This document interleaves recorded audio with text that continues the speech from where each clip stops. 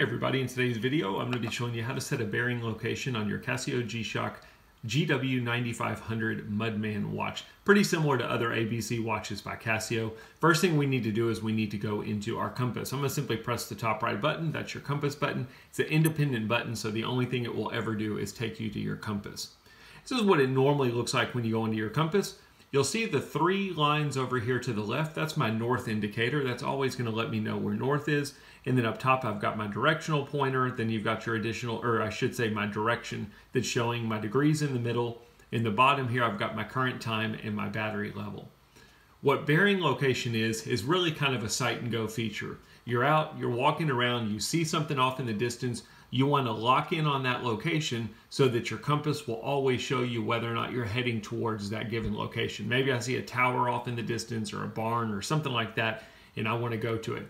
What you're going to do is you're going to basically point the watch, the 12 o'clock indicator up here, to wherever that location is. Once you've got the location, you're going to press the top left button and that will lock in what's called your bearing location. My bearing location is going to be listed up here at top, 73 degrees.